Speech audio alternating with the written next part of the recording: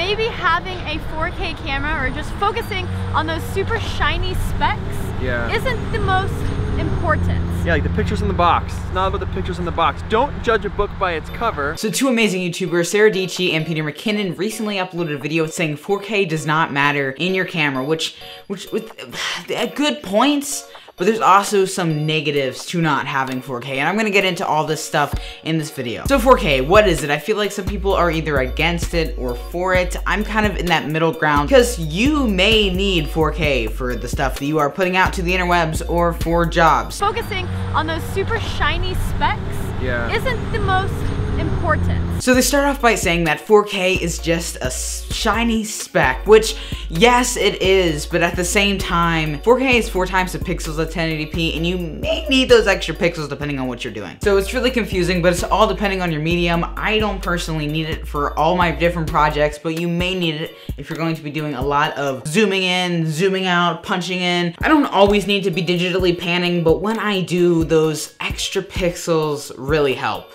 like a lot. So let's talk about codec. Sometimes you have options to record at 100 megabytes or 50 megabytes. So it's like, it's the quality of the 4K. Now I have to agree with the point about codec, but for the average person getting into cameras, you probably don't understand what they're talking about here. Basically, codec is how many bits per second the camera can write to your memory card of how high quality the image is. Basically, my GH4 can shoot up to 200 bits for 1080p video and only up to 100 bits for 4K video. Basically, it's just the higher the bit rate, the higher quality the video is. And that's why a lot of people like me will even though they shoot in 1080p will still upload to YouTube in 4K they'll we will export in 4K because YouTube will then play the video with more bits. My content is filmed in 1080p but it's uploaded to 4K so th that's just how all the bit stuff works. But shooting at 4K at 100 bits and 1080p at 200 bits still look beautiful. And if you also want to think about this,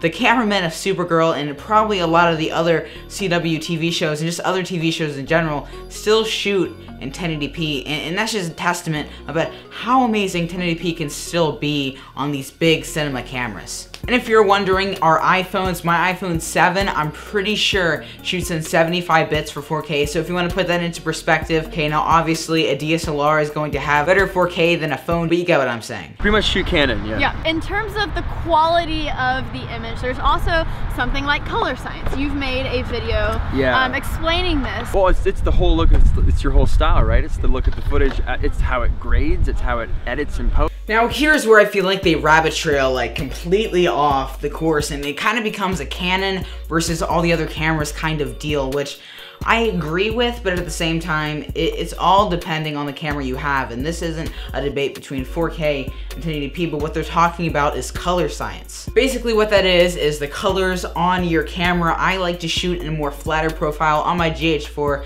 I shoot in a version of Cinelike V, and they're all great, but Canon, everyone knows that Canon has the best pictures, colors, Canon skin tones are beautiful, but all the different models of cameras have different pros and cons. Panasonic can really do so much with putting as many features as possible into the lowest price range. Sony is really good with small form factor cameras, and you know, Canon is just really good with video. I mean, Canon is amazing. I feel like Panasonic is a really good middle ground. I feel like they're very good in the middle between photography and video. So you guys put out a few really good points, especially the codec point about having a higher bit rate for 1080p looks better than a very low bit rate for 4K, and I completely understand that, but I kinda need to defend 4K here because 4K has been my buddy for very long. I really don't think I would have gotten as far as I did with my iPhone's camera without using 4K. 4K is just kind of like my baby. I don't, I don't know why. I, I just feel like I should defend 4K. I, I feel... I love 4K, man. So 4K is four times the pixels as 1080p. We all kind of get that in our head. It's 4K, not 4X. So maybe you didn't, didn't get that. So here's my point. As a young filmmaker, I, I don't have tons and tons of access to other types of cameras. So having 4K to be able to crop in is extremely nice. And yeah, 4K downscaled to 1080p looks crispy. Like that, that's all I can say. You know, 4K is amazing. You just have to use it in the right way. So yeah, thank you so much for watching this video. It was really fun to make. I saw this in my subscription box and I was like, I gotta make something to, to defend 4K because I love 4K. So, so yeah, peace everyone. I'll see you in the next upload.